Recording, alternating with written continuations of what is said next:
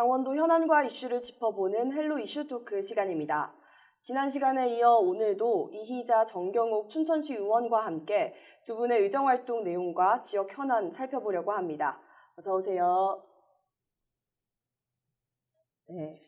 두 분 다 복지환경위원회에서 활동하고 계신 만큼 비슷한 사안에 대해서 관심을 많이 갖고 계신 것 같아요. 어, 두 분 다 사회적으로 고립될 수 있는 이들을 위한 대책이 필요하다는 발언을 하셨어요. 먼저 이희자 의원께선 춘천시 1인 가구 사회 경, 사회 관계망 형성 사업을 추진해야 한다고 말씀하셨는데 이거 내용이 어떤 내용인가요? 어, 춘천시의 1인 가구 수는 21년 기준으로 4만 3천 가구로 춘천시 전체 가구 중에 35, 35.5%를 차지하고 있어요. 전 연령층에서 1인 가구가 급증하고 또 우리 사회의 대표적인 가구 형태로 자리 잡아가고 있지만 문제는 그 비자빌, 비자발적 1인 가구의 경우 다인 가구에 비해서 그 직업의 안정성이나 소득 또 주거 수준, 건강 상태 등이 현저하게 떨어진다는 거예요.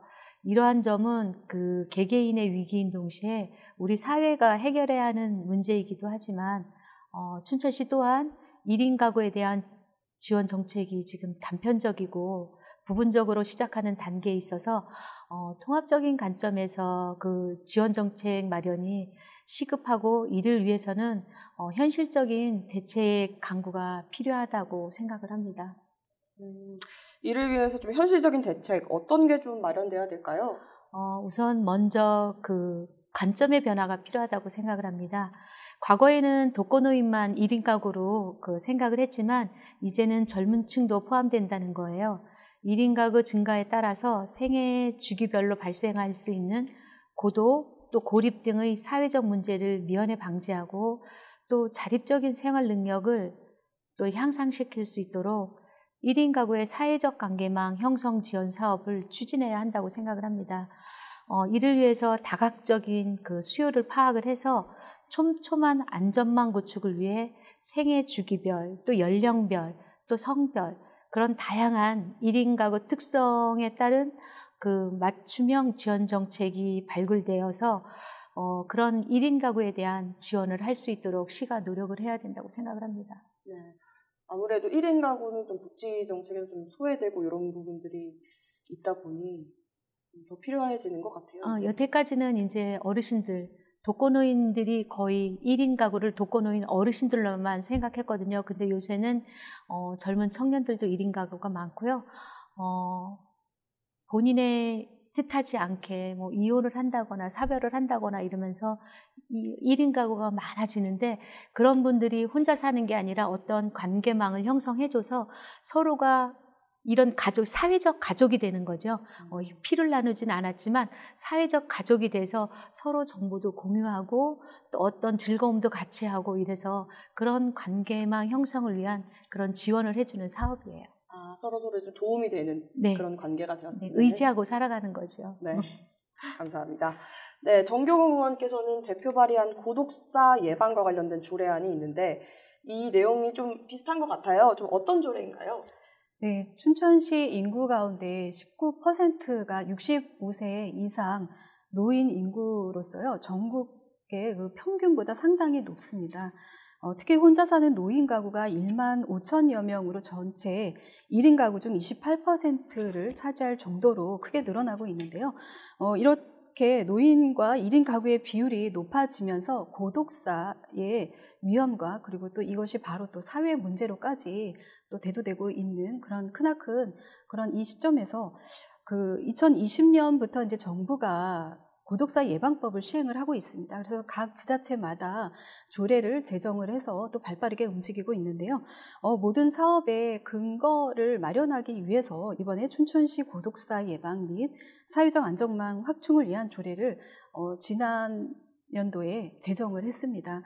그 지원 대상은 춘천시의 주 소록을 어, 갖고 있는 누구나 대상이 되겠고요. 어, 경제적인 어려움이나 또 신체적인 또 정신적으로 어, 또 이상이 있는 그런 고독사 위험에 노출이 된 사람을 또 대상으로 하게 되어 있고요. 어, 특히나 이제 재가복지 서비스를 받지 않는 가구 중에서도 건강 상태나 또 정신, 어, 경제 상태, 또 사회적 관계 접촉, 그 빈도가 좀 취약한 사람을 각 읍면동에서 그 행정복지지원센터나 그리고 사회복지기관 또 지역사회보장협의체 또 지역 주민분들께서 함께 그 발굴을 하셔서 그 대상자들을 또 지원하는 그런 취지의 내용입니다. 네. 좀 고독사를 막기 위해서 구체적으로는 좀 어떤 지원 사업이 진행될 수 있을까요? 네, 가장 중요한 것은 조기 발견이 중요하다라고 볼 수 있는데요. 어, 이 대상자의 그 정서적인 또 지원을 함으로 인해서 이분들이 어, 심리 치료와 그리고 또 어, 심리 상담까지 같이 연계가 된다라고 하면 어, 이분들의 또 앞으로의 삶이 좀 안정적으로 또 유지할 수 있는데 많은 도움이 될 거라고 생각이 들고요. 그리고 생계가 어렵거나 또 제때에 치료를 받지 못하는 분들을 위해서는 또 긴급 의료나 돌봄 지원 사업을 함에 있어서 어, 이 협력체가 체계가 가장 중요하다고 보고 있습니다. 그래서 고독사 예방 및 사회적 고립 가구 지원 사업을 좀 체계적으로 추진하기 위해서 마을 공동체가 함께 해야 된다라는 것이 가장 포인트가 되겠고요. 또 사업 부서나 또 관련 기관이나 또 그 단체에서 또 유기적인 협력 체계를 구축하겠다라는 그런 내용을 담고 있습니다. 네, 많은 내용을 담고 있네요. 네, 조례 제정과 개정 지금 의원님들께서 이제 하고 계신 부분인데 지역 주민들의 삶의 질 향상을 위해서 지방 의원들이 해야 할 중요한 역할입니다. 네. 의원님들이 하셨던 발언 중에서 이와 관련된 눈에 띄는 의견도 있었어요. 어떤 내용인가요? 어, 지방자치 시행 후에 그 풀뿌리 민주주의의 제도적 근거를 마련하기 위해서 다양한 그 입법 활동이 이어지고 있습니다. 그 결과가 강원도나 각 시군에서의 그 시행하고 있는 각종 조례를 의미를 하고 있는데요. 어, 조례는 중앙 정부나 그 광역 지자체가 일반 시민들의 실생활까지는 사실 다 그 살피기가 어렵습니다. 그러한 부분에 있어서 어, 우리 그 각 시군에서 이러한 조례들을 만들어서 또 직접적으로 그 또 도움을 줄 수 있도록 하기 위한 조례인데요. 그런데 이런 좋은 취지의 조례가 사실상은 어, 제대로 시행되지 않고 있는 것이 어떤 행정 업무에 또 걸림돌이 된다라고 한다면 또 재정비가 또 필요할 것으로 보여지고요. 또 조례는 행정기관이 정책이나 사업을 추진하면서 필요한 입법 활동을 뒷받침하고 또 효율적인 또 행정 업무를 추진하기 위해 여러 가지 순기능을 또 하고 있습니다. 그러한 부분에 있어서 어, 복잡 어, 절차가 이제 복잡해지는 그러한 또 어, 조례가 있음으로 인해서 그렇게 하다 보면은 행정 자체가 어, 사실은 그 멈추게 되는 그러한 상황들이 발생이 될 것 같고요.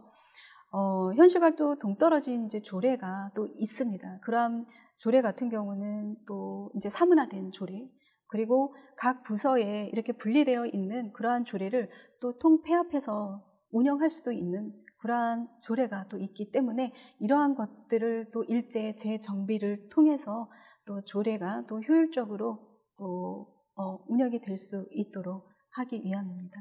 어, 그런 내용도 있었군요. 지역 주민들을 위해서 이제 앞으로 준비하시고 계신 조례안도 많을 것 같은데 이제 설명해 주신다면 어떤 게 있을까요? 아, 이제 조례가 많지는 않고요. 조례가 만들어지기까지는 저희 의원들도 상당히 많은 연찬을 하고 몇 달 동안 준비를 하고 이래야 조례 하나가 나오지 조례가 하고 싶어도 막 할 수가 없는 게 또 조례예요. 제가 이제 그 준비하고 있는 조례는 앞서서 말씀드린 것처럼 춘천시 1인 가구 사회적 관계망 형성을 위해 어, 1인 가구 정책 사업 지원을 위한 조례를 준비하고 있는 거예요. 왜냐면 근거, 조례가 근거거든요. 그래서 조례가 있어야 지원을 할 수 있어서 어, 조례를 준비하고 있고요. 정교 의원님이 춘천시의 고독사 예방 및 사회적 안전망 확충에 대한 이제 조례를 제정하셨잖아요. 그 이제 그 고독사 가기 전에 이제 저는 그 1인 가구 사회적 관계망 형성을 위한 정책 사업 을 위한 지원 조례인데요. 이 우리 의원님이 그 조례를 만드셨듯이 어, 우리 사회적 관계망 형성을 위한 정책 사업 지원 조례도 어, 관심을 갖고 좀 어, 함께 해주시리라 믿습니다. 네, 두 분의 이제 함께 나아가신 모습 잘 봤습니다. 네, 춘천시가 인구 30만 명 특례시 지정을 위해서 인구 30만 만들기 대책을 시행하고 있습니다. 이희자 의원께서도 이와 관련된 결의문을 대표 발의하시기도 하셨어요. 인구 30만 명 특례시로 지정되면 뭐가 달라지나요? 어, 저희 춘천시가 이제 가장 어, 가장 급부적으로 변하는 게 어, 조정교보금이에요. 지금은 27%의 조정교보금을 받고 있지만 어, 특례시로 되면 47%로 어, 상향되고요. 그 다음에 위임 사무가 증가하고 춘천시의 자율권이 또 확대됩니다. 그 다음에 보건소가 추가로 설치되고 또 경찰서가 추가로 설치가 가능해져서 보건 쪽이나 의료 환경과 같은 치안에 대해서 개선될 수 있는 그런 어, 장점을 기대해 볼 수가 있고요. 또 주택단지나 상업지구 지정 등도 그 시에서 할 수 있게 돼요. 그래서 결과적으로는 시민들의 문화나 여가, 복지 등 다양한 분야에서 삶의 질이 좀 향상된다고 할 수 있죠. 그래서 시민들이 어, 우리 관심을 가지시고 또 시가 함께 이루고자 하는 의지를 갖고 있다면 어, 지속적으로 시하고 시민하고 노력을 해야지요. 어, 그러면은 인구 30만 돌파는 저는 곧 이루어질 거라고 봅니다. 춘천시의 최대 현안 해결도 중요하지만 지방 의원들이 주민들 가까이서 생활 정치를 하는 부분 또 이제 상당히 중요하지 않습니까?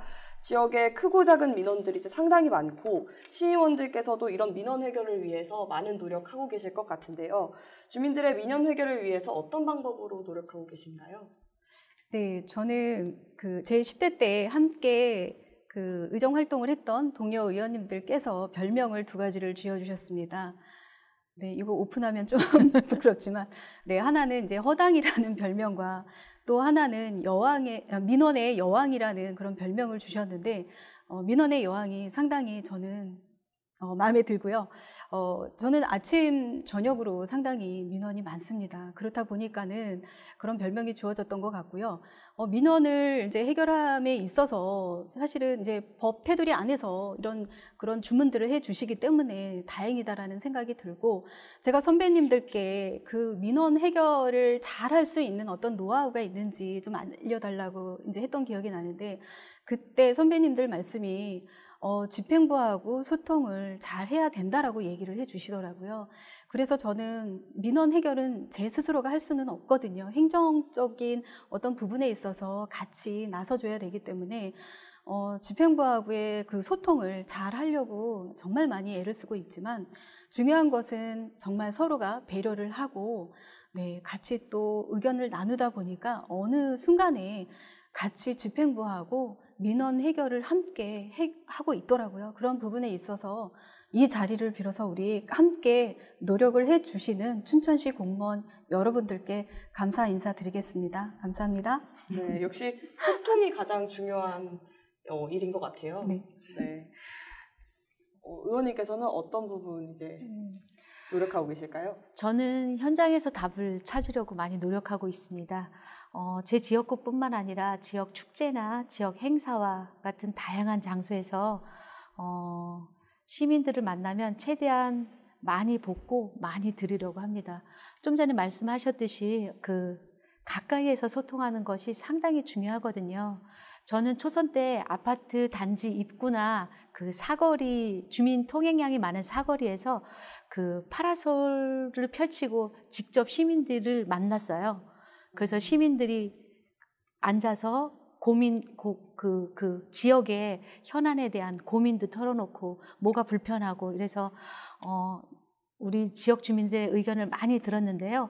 해당 문제에 대한 고민과 결과는 실질적으로 그 서로 소통하는 데 있다고 느꼈고요. 어떤 점을 보완해야 하는지 이런 거는 자연스럽게 해결이 되더라고요. 그리고 저는 시하고 집행, 저희가 집행부에 늘 말하는 게 집행부랑 시와 의회는 수레바퀴와 같은 것이다. 항상 이 바퀴 하나가 있으면 잘 안 굴러가잖아요. 하나는 의회고 하나는 시 집행부예요. 항상 시민들을 위해서 함께 한 곳을 바라보고 가, 가기 때문에 늘 어느 하나가 빨리 가려 하지도 않고 또 늦게 가려 하지도 않고 같이 가야지 시민의 어, 민원은 잘 해결된다고 생각을 하고요. 어, 저는 이로 인해서 좀 민원실장이라는 그 제가 이제 그 재선할 때는 민원실장이라는 닉네임으로 이제 현수막을 달았었어요. 어, 그래서 어, 파라솔 민원 청취가 저의 대표적인 이미지가 됐듯이 올해도 전 이번 달부터 파라솔 민원을 이제 실시하려고 합니다. 두 분 다 이제 지역구의 해결사 역할을 톡톡히 해내고 계십니다. 네. 같은 위원회에 계실 뿐만 아니라 같은 지역구에도 속해 계세요. 같이 관심을 갖고 계신 지역구 현안 어떤 게 있을까요?